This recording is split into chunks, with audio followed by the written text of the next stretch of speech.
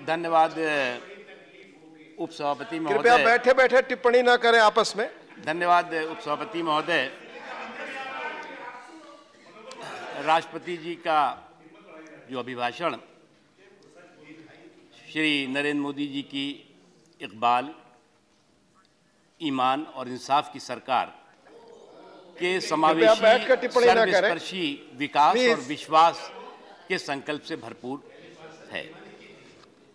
उपसभापति महोदय, मैं जब बात कर रहा हूँ इकबाल, ईमान और इंसाफ की तो ये वो सरकार है जिस सरकार ने कि समावेशी विकास, सर्वस्पर्शी विकास को संकल्प बना करके हर ज़रूरतमंद की आँखों में खुशी, उनकी ज़िंदगी में खुशहाली के लिए काम किया है। और पिछले पाँच सालों काम किया, और जिसका नतीजा है कि जनता ने भरपूर अपने आशीर्वाद से नरेंद्र मोदी जी की सरकार, नरेंद्र मोदी जी की सरकार और हमारी पार्टी और एनडीए को नवाजा। 2014 में भारतीय जनता पार्टी 282 सीट्स जीती थी, जबकि 31 परसेंट हमारा वोट शेयर था। एनडीए जो है 336 सीट जीती थी। और 2019 में बीजेपी को अकेले 303 सीट मिली और शेयर था 37.36 परसेंट और एनडीए को 353 कृपया बैठकर टिप्पणी ना एनडीए को 353 सीटें मिली। मैं इसलिए कह रहा हूँ कि पाँच सालों तक सबका साथ सबका विकास के संकल्प के साथ नरेंद्र मोदी जी की सरकार ने काम किया।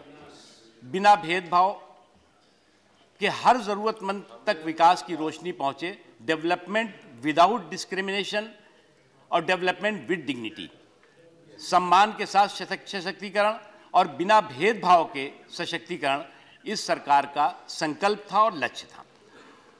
इकबाल की जब मैं बात कर रहा हूँ, उपसभापति महोदय तो ये ज़रूरी है ये समझना कि जिस सरकार को हम इकबाल की बात कर रहे हैं, इस सरकार के मोदी जी के आने के पहले दस सालों तक जो सरकार थी, वो क्या थी? वो सरकार जो है, वो कौन प्रधानमंत्री हैं? सुपर प्राइम मिनिस्टर कौन है? सुपर पीएमओ कहाँ है? सरकार के अध्यादेश को नॉनसेंस न्यूसेंस कह के फाड़ दिया जाता था। और और कहीं ना कहीं, किसी ना किसी रूप में एक मजबूर सरकार दिखाई पड़ती थी। वो समय जो मजबूर सरकार थी, उसको बदला और आज मज़बूत सरकार है, मज़बूत इच्छा शक्ति के साथ काम करने वाली सरकार है। आज जो है वो कोई सुपर पीएमओ नहीं चल रहा है। कहीं आज कोई जो है वो सरकार किसी भी राष्ट्रीय हितों के मुद्दे पे समझौते नहीं कर रही है। मजबूती के साथ देश इजाज़त नहीं बोलने और देश के विकास के लिए समर्पित भाव से काम कर रही है। मैंने इसलिए कहा कि इकबाल की सरकार है।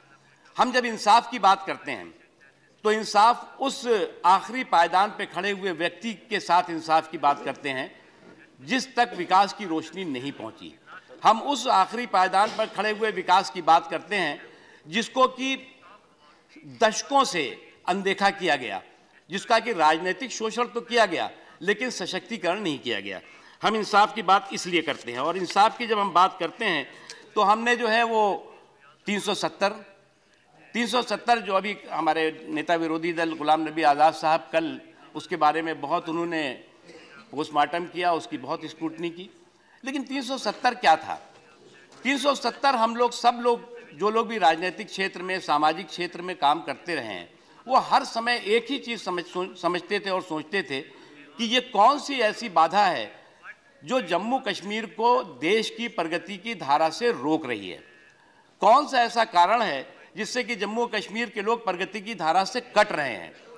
ये बार बार हम लोग सोचते थे और बार बार कहते भी थे। मुझे याद है अच्छी तरह से उपसभापति महोदय, कि जिस समय नाइन्टी नाइन्टी एट में मैं लोकसभा का सदस्य था और उस समय अटल जी की सरकार थी, मैं सूचना प्रसारण राज्य मंत्री था, उसके साथ साथ मुझे संसदीय कार्य मंत्रालय का भी काम मिला था। उस समय जो है वो प्रमोद महाजन जी हमारे नेता और उस समय संसदीय कार्य मंत्री के रूप में उन्होंने काम, वो कार देख रहे थे। तो मैंने उनसे कहा था उस समय, हमने कहा था कि हम लोग नारे लगाते हैं कि जहाँ हुए बलिदान मुखर्जी, वो कश्मीर हमारा है। एक विधान, एक संविधान की बात करते हैं, एक निशान की बात करते हैं, लेकिन ये कब खत्म होगा? अब तो सरकार आगे खत्म हो जाना चाहिए। तो उस समय उन्होंने कहा कि भाई 370 खत्म करने के लिए 370 एमपी लगेंगे। एक। दूसरी चीज़ उन्होंने कहा कि उसके साथ जो है वो तमाम विधानसभाओं से उसे रेटिफाई कराना पड़ेगा। वो संभव नहीं है। अभी छोड़ो इसको। मैं तो प्रधानमंत्री नरेंद्र मोदी जी को और अमित शाह जी को बधाई देता हूँ कि उन्होंने जिस तरह से उस उस सच्चाई को खोजबीन करके कि कोई संवैधानिक व्यवस्था नहीं है, एक नोटिफिकेशन के आधार पर ये सारी चीज़ें चल रही थी, उसको ख़त्म किया। ये इंसाफ दिलाया जम्मू एंड कश्मीर के लोगों को, ले और करगिल के लोगों को। दूसरी इंसाफ की बात है, ट्रिपल तलाक। एक कुरीति, एक कुप्रथा से जुड़ा हुआ है। हमारा, ये हमारा देश जो है, हमेशा कुरीतियों और प्रथाओं को ख़त्म करने वाला देश है। चाहे वो बाल विवाह का मुद्दा हो, चाहे सती प्रथा का मुद्दा हो, लेकिन ट्रिपल तलाक पे जब बात आती थी तो अटक जाती थी।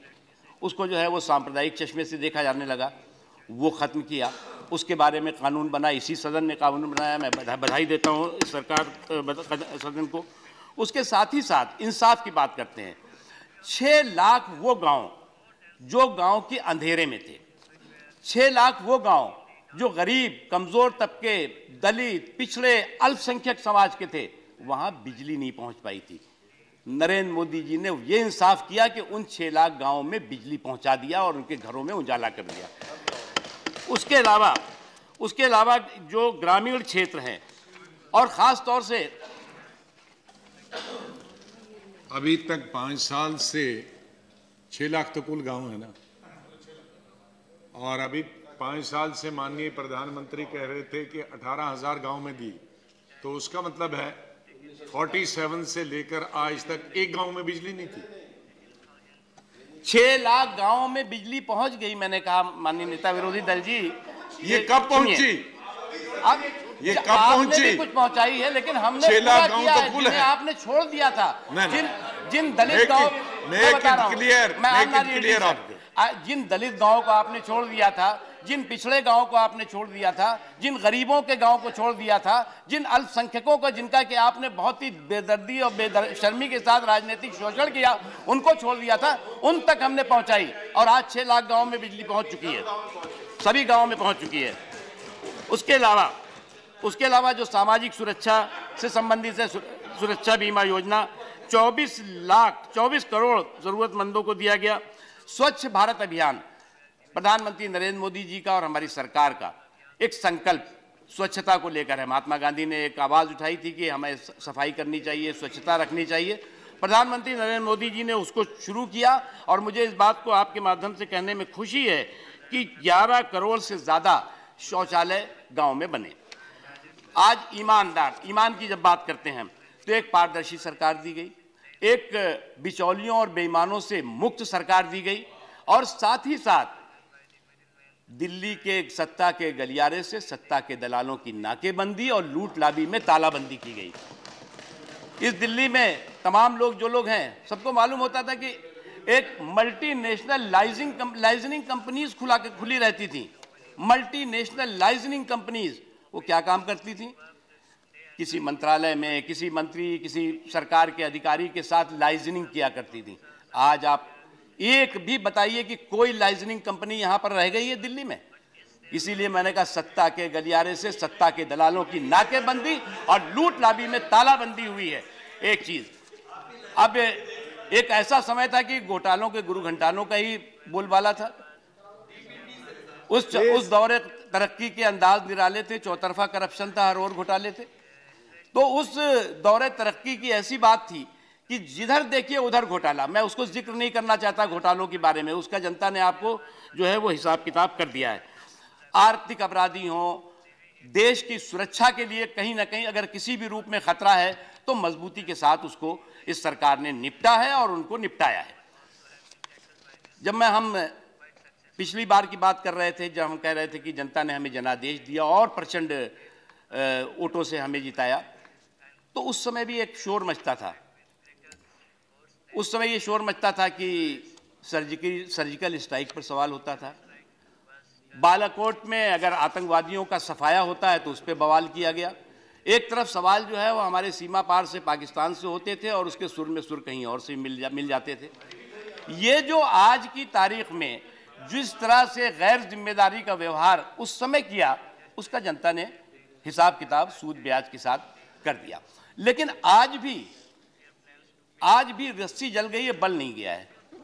उपसभापति महोदय, आज भी अगर आप व्यवहार देखें, आज भी जो है वो काम करने का तरीका देखें तो उसमें कोई बदलाव नहीं। बिना नंबर के नंबरदार बने हुए हैं। जनता ने नंबर दिया नहीं। उनका नहीं, मैं तो सबसे बड़ा नंबरदार हूँ। मैं तय करूँगा कि जो है वो देश की सुरक्षा के लिए क्या करना है, आतंकवादियों को कैसे मारना है 370 क्यों खत्म करना है कि नहीं करना है, शाहीन बाग में क्या करना है। अब मुझे तो बहुत ताज्जुब हो रहा था जब हमारे नेता विरोधी दल कल जब बोल रहे थे, बहुत हमेशा अच्छे बोलते हैं, मैं तो उनको एडमायर करता हूँ। लेकिन कल मुझे लग रहा था कि वो अभी भी जो है वो जम्मू कश्मीर के मुख्यमंत्री के रूप में बोल रहे थे। उनकी सारी चीज़ें थी कि जम्मू कश्मीर ने ये किया, गुजरात ने ये किया। जम्मू कश्मीर ने ये किया, गुजरात ने ये किया। और मैं तो मधुसूदन मिस्त्री जी की तरफ़ देख रहा था, वो तो विधान गुजरात की, जो विधानसभा है, उसमें चीफ विप भी थे अपनी पार्टी के।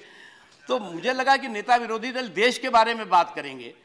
और जम्मू कश्मीर को देश से मिलने और देश में जो प्रगति की मुख्य धारा से मिलने पर खुशी ज़ाहिर करेंगे, बल्कि उनके मन में जो है वो उस खुशी नहीं दिखाई पड़ी। तो इसलिए मैंने जैसा कहा कि ये एक ऐसा सवाल था जिस सवाल को लेकर के वह अब आप नागरिकता कानून को लेकर के बात करते हैं। मुझे तो बहुत अच्छा लगता। अगर कल इस सदन से ये आवाज़ उठती इस सदन से ये आवाज़ उठती और खुद गुलाम नबी आज़ाद साहब इस बात को कहते कि हिंदुस्तान का कोई भी नागरिक और किसी भी नागरिक की नागरिकता न खतरे में है, न खत्म होगी। और अगर कोई खत्म करेगा तो गुलाम नबी आज़ाद और मुख्तार अब्बास नकवी पहले उसमें जाएँगे। ये कहते ये मैसेज जाना चाहिए था। लेकिन वो तो उल्टा कहा कि पूरा देश शाहीन बाग बन जाएगा। पूरा देश शाहीन बाग बनने वाला है। आप पूरा देश शाहीन बाग बन जाएगा। अरे साहब, ये कहना आप बिचारी औरतें, मैं उन्हें ये कोई राष्ट्रद्रोही नहीं मानता। मैं ये नहीं मानता कि जो बच्चे हैं वो राष्ट्रद्रोही हैं, लेकिन वो गुमराह किए गए हैं। और गुमराह आपके ज़्यादा किए गए हैं, आप जैसी पार्टियों के ज़रिए किए गए और ये बताया गया है कि तुम यहाँ बैठे रहो, नहीं तो तुम्हारी न तुम्हें हिंदुस्तान से बाहर भगा दिए अरे, कहाँ भगा दिए जाओगे भाई? एक हज़ार है, दो हज़ार है, चार हज़ार है, दस हज़ार है। करोड़ों लोग हैं, आप उनको समझा रहे हो कि आप भगा दिए जाओगे, और आपने इतना बड़ा भय और भ्रम का भूत खड़ा कर दिया। ये जो बोगस बैशिंग ब्रिगेड है, इस बोगस बैशिंग ब्रिगेड का ये अफवाह फैलाने का और इस तरह से लोगों को गुमराह करने का षड्यंत्र और साजिश इससे ज़्यादा कुछ नहीं है।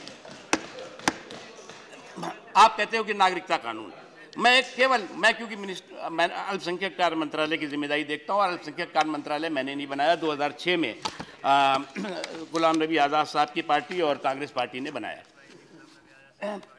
सर 17 मई 1955 जो अभी गांधीदा कह रहे थे कल की किस डेट में गांधी जी ने कहा तो अब इससे इससे बड़ा महत्वपूर्ण वो नहीं 17 मई 1955 एक एग्रीमेंट होता है पंथ मिर्ज़ा एग्रीमेंट। पंथ यानी कि पंडित गोविंद बल्लभ पंत जो हमारे देश के गृह मंत्री थे, और मिस्टर मिर्ज़ा जो कि पाकिस्तान के उस वक्त के इंटीरियर मिनिस्टर थे। उस समझौते में उस समझौते में बहुत स्पष्ट तरीके से ये कहा जाता है कि इस समझौते के तहत दोनों सरकारें पाकिस्तान में मौजूद गैर मुस्लिम तीर्थस्थलों और भारत में उपस्थित तीर्थस्थलों के बारे में चिंता करेंगी। ये एक मुख्य बात। उसके बाद आपने 2006 में अल्पसंख्यक कार्य मंत्रालय का गठन किया 26 29 जनवरी 2006 में। उसके मैंडेट में आपने क्या कहा? जो मैंडेट कार्य आवंटन होता है मंत्रालयों को 1961 की नियमावली के तहत, उसमें आपने कहा कि विदेश मंत्रालय से परामर्श से 1955 के पंत मृदा समझौते के अनुसार पाकिस्तान में गैर मुस्लिम पूजा स्थलों और गैर मुस्लिम अल्पसंख्यकों की चिंता करनी है। विदेश मंत्रालय से परामर्श से पड़ोसी देशों में अल्पसंख्यक समुदायों से संबंधित प्रश्नों की भी चिंता करनी है, ये मैंडेट आपने दिया। ये कब दिया आपने? 2006 में दिया, जबकि मोदी जी नहीं आए थे। अब ये अलग बात है कि आपने उस मैंडेट को का सम्मान नहीं किया। कभी आपने चिंता नहीं की कि वहाँ के अल्पसंख्यकों की क्या हालत है? 24 परसेंट से 2 परसेंट कैसे रह गए? कौन सा नरसंहार हो रहा है? किस तरह से उनका कत्लेआम हो रहा है? किस तरह से उनको जो है वो पीड़ित और प्रताड़ित किया जा रहा है? आपने चिंता नहीं की? आपको मैंडेट भी था। आप पंथ और मिर्ज़ा एग्रीमेंट के तहत मैंडेट हो सकता है, वो नहीं भी होता तो भी आपकी नैतिक ज़िम्मेदारी है। आप जो है, वो एक अनह्यूमन जो इनजस्टिस हो रहा था, उसको ह्यूमिटेरियन जस्टिस दे सकते थे। एक अमानवीय अन्याय को मानवीय न्याय दे सकते थे, आपने नहीं दिया।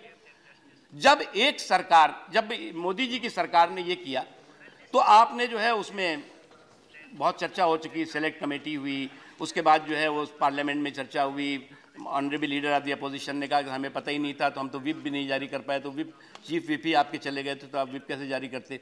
तो वो सारी की सारी चीज़ें एक कहीं ना कहीं जो है वो आज एक सवाल खड़ा कर रही है नियत पर सवाल खड़ा कर रही है। उपसभापति महोदय मैं ए, बहुत ईमानदारी के साथ बहुत ही गंभीरता के साथ एक बात कहना चाहता हूँ। देखिए चुनाव आते हैं जाते हैं आप हारेंगे आप फिर हारेंगे, फिर क्या होगा, मालूम नहीं। लेकिन जो है, वो चुनाव के साथ देश के सौहार्द का सौदा नहीं किया जा सकता। आप जो है, वो बार बार मैं भी शाहीन बाग के बारे में सुन रहा था, मैं भी देखता हूँ। लेकिन शाहीन बाग में जो हमारी बहनें बैठी हुई हैं, जो बच्चे बैठे हुए हैं, आप क्या कर रहे हैं उनके साथ?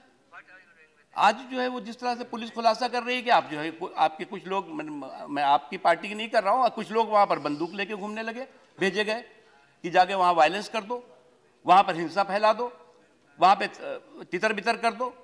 वो तो हो नहीं पाया, लेकिन उसके पीछे की खतरनाक मकसद और मंशा जो है, वो बहुत ही खतरनाक रही है और बहुत ही गंभीर रही है।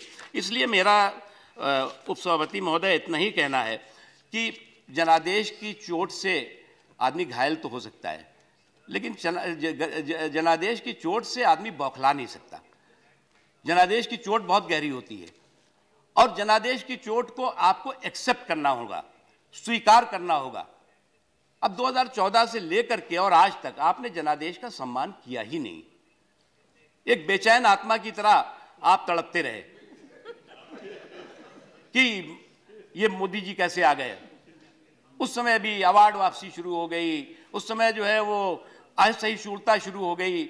उस समय जो है वो एक पूरे देश को जो है वो किस तरह से एक एक वर्ग विशेष को कैसे गुमराह कर सको, किसे बहका सको, किस तरह डरा सको और किस तरह से उसे प्रगति की धारा से दूर कर सको, उसकी कोशिश होती रही। लेकिन मोदी जी अपने रास्ते से नहीं हटे। उन्होंने जब कहा 130 करोड़ हिंदुस्तानियों की बात करी, उसने कभी, उन्होंने कभी नहीं कहा कि ये हिंदू है, ये मुसलमान है, ये सिख है, ये ईसाई है। उन्होंने कहा, ये मेरे तीन एक सौ तीस करोड़ मेरे हिंदुस्तानी भाई बहन हैं। हमें इनका विकास करना है। हमें इनके आँखों में खुशी और उनकी ज़िंदगी में खुशहाली लानी है। और उस संकल्प के साथ उन्होंने काम किया। कोशिशों के बावजूद भी हाँ वो रास्ते से अपने कभी नहीं लगे। उपसभापति महोदय, आज जो है वो, देश जो है वो एक, ऐसे दोराहे पर है, जिसमें कि हमारे जो कुछ राजनीतिक दल हैं, जिनके अपने निहित स्वार्थ हो सकते हैं, वो देश में एक कहीं ना कहीं संवैधानिक संकट की स्थिति खड़ा करने की कोशिश कर रहे हैं। अभी सिंह साहब ने एक बात कही, बहुत अच्छी बात कही, कि भाई एक संविधान में केंद्र सरकार को और राज्य सरकारों को रिस्पॉन्सिबिलिटी दी गई कि केंद्रीय लिस्ट में क्या होगा, राज्यों की लिस्ट में क्या होगा, केंद्र को कौन से कानून बनाने हैं, राज्यों को क्या बनाने हैं, नागरिकता किसका इशू है नागरिकता संसद का अधिकार है, केंद्र की सरकारों का अधिकार है।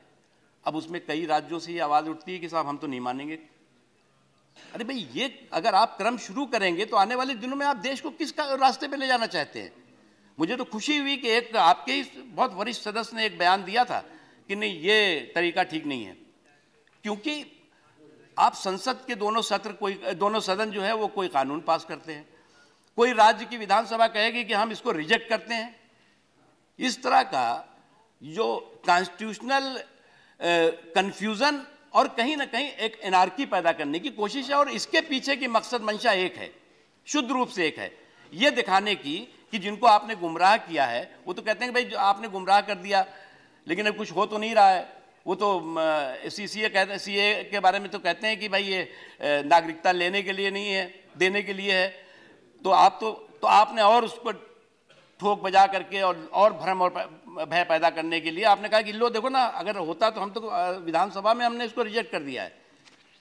यानी कि एक बड़े समाज को आप प्रगति की धारा से, विश्वास की धारा से डर और भय के माहौल में खड़ा करने की कोशिश कर रहे हैं। ये कभी भी, किसी भी लोकतांत्रिक व्यवस्था में, सब समाज में एक्सेप्टेबल नहीं है और ना हो सकता है। उसके अलावा बहुत सी चीज़ों पे बात हुई है। मैं केवल दो चीज़ें आपको ज़रूर बता करके अपनी बात कहना ख़त्म करूँगा कि आज़ादी और आज़ादी के बाद जो है वो पाकिस्तान और हिंदुस्तान के अल्पसंख्यकों के बारे में बताना चाहता हूँ कि बंटवारे के बाद हिंदू लगभग इस देश में 84 परसेंट और अल्पसंख्यक 15 प्रतिशत थे। अल्पसंख्यकों में जो है वो मुस्लिम भी हैं, सिख भी हैं, ईसाई भी हैं और पारसी भी। उस, उसमें जो अगर, इसमें अगर आप टोटल देखें तो मुस्लिम 9 प्रतिशत थे, ईसाई 2.3 परसेंट थे, सिख 1.89 परसेंट थे और बौद्ध 0.74 परसेंट थे, इस तरह से थे। इसी तरह से जो 2011 की जन जनगणना हुई 2011 की जनगणना, अभी तो जो जनगणना हो रही है, उस पर भी आपने सवाल खड़ा कर दिया है कि कोई जनगणना में हिस्सा मत लो। यानी कि आप इतनी बड़ी जो कम्युनिटी है उसको आप जो है वो मर्दन शुमारी से ही अलग कर देना चाहते हैं, जनगणना से ही अलग कर देना चाहते हैं। क्या जनगणना पहली बार मोदी जी आके कर रहे हैं क्या? इक्यावन में हुई, इकसठ में हुई, इकहत्तर में हुई, इक्यासी में हुई नाइन्टी वन में हुई लगातार हर दस साल में होती है। और पिछली बार जो जनगणना हुई, उस दो जनगणना में आपने बहुत ढोल बाजा, बजा बजा के कहा हम इसको तो डिजिटल कर रहे हैं, हम तो इसमें जो है ये सारी चीज़ें जोड़ रहे हैं। उस समय जो है वो पहली जनगणना के बाद जो कार्ड आपने इशू किया वो उस समय की महामहिम राष्ट्रपति महोदया प्रतिभा पाटिल जी को आपने उस समय भेंट किया। उसके बाद ये ये खत्म होता है। लेकिन मेरे भारत में, हमारे देश में, देखिए मैं बार बार कहता हूँ कि ये भारत, ये हिंदुस्तान अल्पसंख्यकों के लिए जन्नत है और पाकिस्तान जहन्नम है। और जहन्नम मैं इसलिए कह रहा हूँ कि जो नरसंहार हुआ, जो एक बहुत ही बुरी तरह से उनको खा, उनका खात्मा किया गया जिसकी वजह हुई कि दो परसेंट रह गए। लेकिन हिंदुस्तान में जो नौ परसेंट थे वो उन्नीस हो जाते हैं। नौ परसेंट अल्पसंख्यक उन्नीस हो जाते हैं।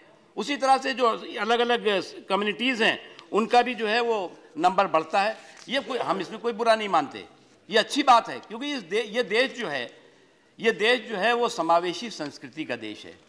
वसुदेव कटम्बम का देश है। ये देश जो है, वो देश, अगर इस देश सेकुलर है और इस देश ने जो है, वो सेकुलरिज्म का रास्ता और पंथ निरपेक्षता का रास्ता चुना है तो इस देश के बहुसंख्यक पंथ का डीएनए सेकुलरिज्म और पंथ निरपेक्षता का है।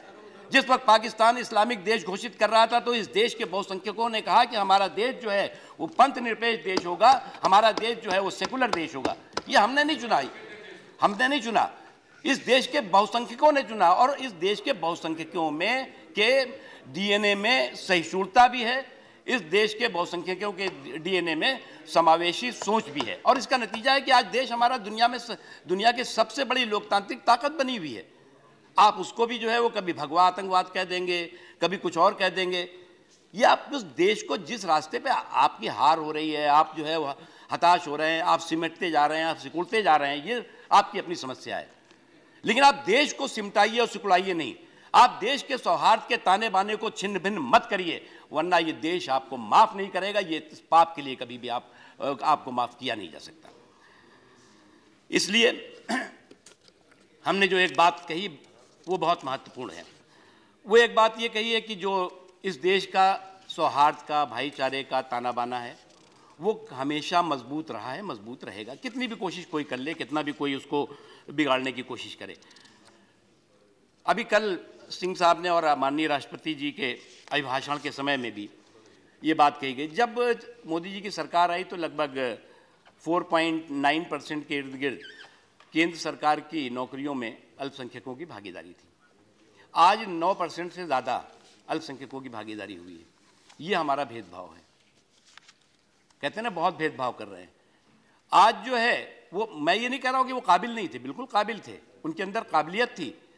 अगर वो जो है मोदी जी के आने के बाद जो है वो 120, 125 यूपीएससी में जो है वो कंपटीशन में उसमें पास हो रहे हैं। हर साल बढ़ रहा है उनका उनकी संख्या।